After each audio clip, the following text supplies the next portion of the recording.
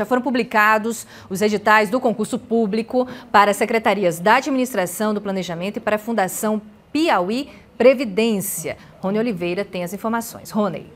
Serão ofertadas 110 vagas, além de cadastro de reserva. Será exigido também curso superior para todos os cargos.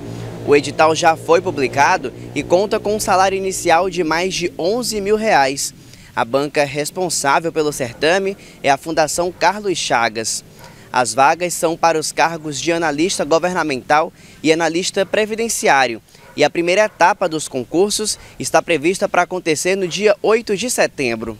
São 90 vagas para analista governamental, sendo 45 para a CEPLAN e 45 para a SEAD, além de 20 vagas para analista previdenciário.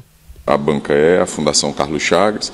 As inscrições devem se iniciar na sexta-feira, dia 7 de junho, vão até o dia 4 de julho. A primeira fase de provas está agendada para o dia 8 de, de setembro.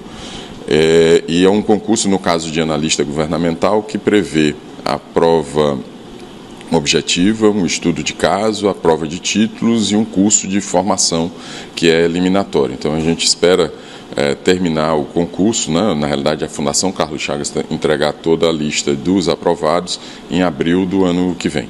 Vai ter cadastro de reserva também? Deve ter um cadastro de reserva, a gente fez uma, um, algo, digamos, diferente, o concurso vale apenas por um ano e provavelmente com, quer dizer, provavelmente com é, indicação de renovação apenas por mais um outro ano. Olha só, Inscrições começam dia 7 de junho, vão até o dia 4 de julho, exclusivamente pelo site da Fundação Carlos Chagas. Mais informações você sabe, portal a10mais.com, com todos os links lá para você.